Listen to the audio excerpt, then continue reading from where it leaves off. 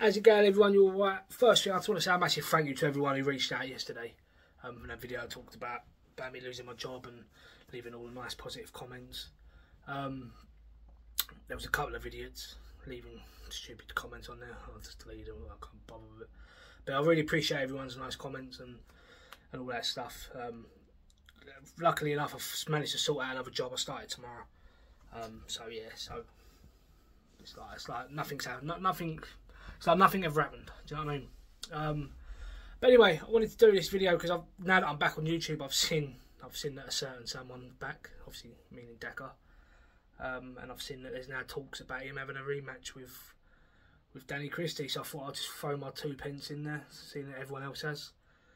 Um, personally, I kind of thought this ship had sailed with with the rematch between them two. I know it was spoken about a bit before, but with obviously the, the situation that Decca was involved in, with whatever the truth of that actually is, who knows?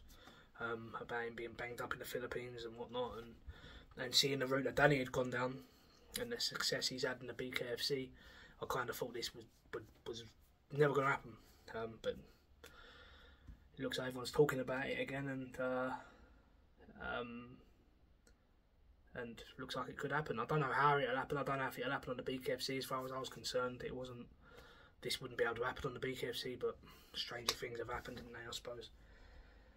But regardless of what everyone says, regardless of what everyone thinks about either person, you can almost guarantee that everyone will still tune in to watch it whether it be a pay-per-view link or anything like that, or just watching it when the video goes up on YouTube, you can guarantee everyone's going to watch it. Everyone's everyone wants to see that rematch, don't they? I suppose, and um, seeing seeing them both fight again. The first fight was an absolute barnstormer. Like I said, regardless of how you feel about either person, it was still a good fight to watch.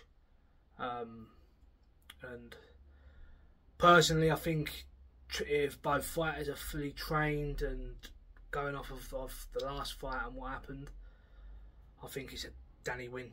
If I'm honest with you, I think he's um, we've shown that he's seen, he's got the art, and I'm not taking nothing away from Decca's fighting ability. Regardless, like I said, regardless of what you think about either person, they can both still fight. Um, but I just think Decca, I just think Danny's got the better, the better technique, and he's been more active, and, and he's got them. I think he's got more to, to give If I'm being honest with you. But anyway, that's if it happens. Who knows? We, we know what this world of YouTube can be like with arranging fights and and then they're not happen not happening. And I've For one have experienced those kind of things. So who knows? I suppose we'll all we'll all see it when, when we see it, won't we? But but yeah, anyway, that's what I think. I think if it happens, DC will win it this time round. But who knows? Anyway, I hope you're all good, and I'll speak to you all very soon.